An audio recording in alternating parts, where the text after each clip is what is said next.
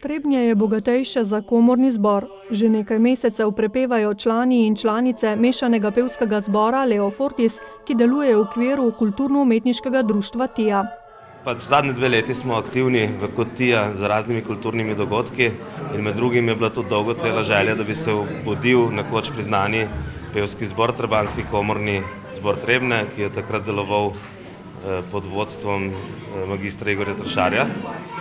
In tako smo povabili na sestanek Fernandota in smo po nekih sestankih se odločili, da pa mogoče je pa čas, da, da imamo tudi večjo pevsko zasedbo v Trebnem, kajti v Trebnem delujejo veliko pevskih zasedb, vendar so manjše. Tako smo nekako združili 35 pevk in pevcev in sedaj pridno vadimo in delamo enkrat tedensko v prostorih godbe Trebne oziroma občinskega pihalnega orkestra Trebne.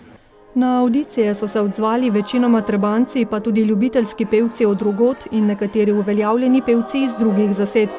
Taktirko je prevzel Fernando Mejijas, ki je enajst let vodil novomeški zbor Pomlad. Načeloma so pevci, ki niso šolani, ne? imamo mogoče dva, tri. Tako da so pa, so pa ljudje, ki imajo tako zelo dober posluh in zdrav glas, nekateri imajo več izkušnje pri zborih, ne vem, pojejo pri oktetih, pri vokalnih skupinah, nekateri pa ne.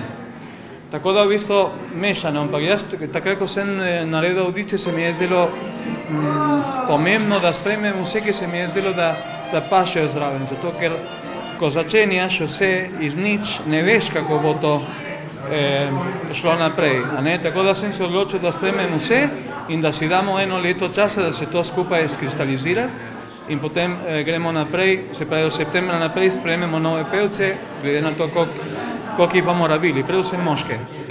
Eni so videli, da jim ne bo zneslo zaradi obveznosti, drugi so se nam pridružili, tako da se nam zdi, da po vsakem koncertu pridobimo nekaj, nekaj na zasedbi, ker pač zmotiviramo ljudi, da, da, da, da delamo, da je luštno.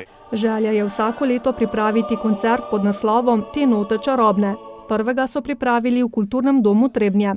Energija je absolutno ta prava, jaz sem zelo zadovoljen, kako so pevci vse skupaj pripravili, vse, da bi bilo danes tako, kot je treba, ne samo kar se samega koncerta tiče, ampak tudi za pogostitev, za reklame, za vse, kar je bilo treba, res sem zelo zadovoljen in same pohvale.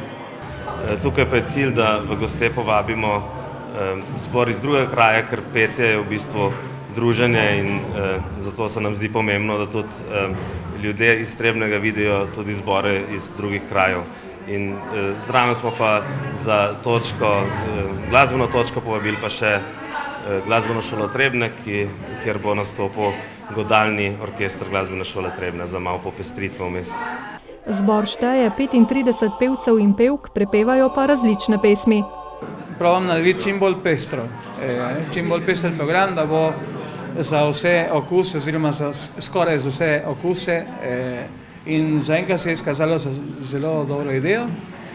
Danes na primer bomo imeli en majhen sklop sakralnega programa, prvi dve skladbi sta sakralni, potem imamo ljudski program vmes in na koncu črnske duhovne oziroma pop pesmi. Trenutno se pa pripravljamo na naš projekt, kjer bomo zastopali naš zbor na Korčuli, tam je pa nastop možen v cerkvi, tako da smo sedaj padli malo v sakralno in pa črnsko duhovno trenutno.